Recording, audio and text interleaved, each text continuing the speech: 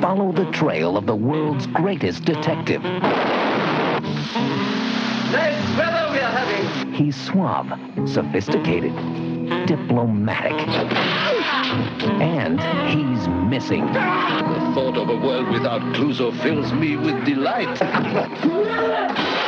Peter Sellers in Blake Edwards' newest and funniest comedy, Trail of the Pink Panther. Rated PG. Starts Friday. Check newspapers for a theater near you.